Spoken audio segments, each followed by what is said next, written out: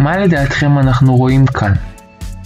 עכשיו, אנחנו רגילים לראות גדרות ביבשה, אבל לא בתוך הים, נכון?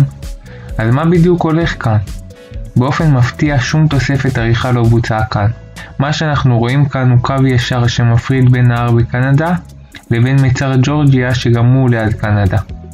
כאשר המים המתוקים מהנהר הקר זורמים אל מי המלח של מיצר ג'ורג'יה, תופעת טבע מדהימה יוצרת הפרדה בין שני מקורות המים הללו. מקורות מים שונים שלא מתערבבים, פשוט מדהים, נכון?